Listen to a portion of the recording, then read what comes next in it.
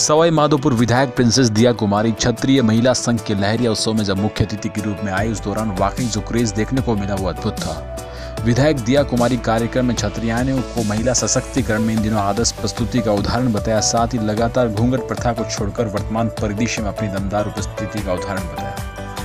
लहरिया उत्सव के दौरान दिया कुमारी के साथ जब सेल्फी का दौर चला, तब आधा घंटे तक लगातार सैकड़ों की तादाद में छत्रियाणियों ने दिया कुमारी के साथ में स्वर्णिम क्षण को संग्रहित किया।